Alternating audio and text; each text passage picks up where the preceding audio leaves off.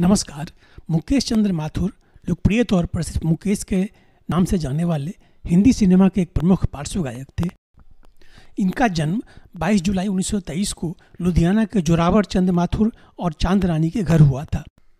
मोतीलाल के घर मुकेश ने संगीत की पारंपरिक शिक्षा लेनी शुरू की, लेकिन इनकी दिली ख्वाहिश हिंदी फ़िल्मों में बतौर अभिनेता प्रवेश करने की थी। इस दौरान मुकेश को एक हिंदी फ़िल्म निर्दोष में मुख्य कलाकार का काम मिला।